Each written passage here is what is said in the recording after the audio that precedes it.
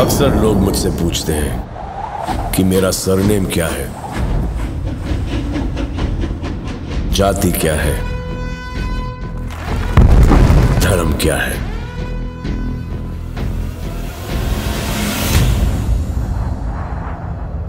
और मैं उनसे मुस्कुरा के कहता हूँ कि इस देश के नाम पे मेरे बाबूजी ने मेरा नाम भारत रखा। अब इतने बड़े नाम के आगे जाति, धर्म, सरनेम लगा के ना तो अपना और ना ही इस देश का मान कम कर सकता हूँ।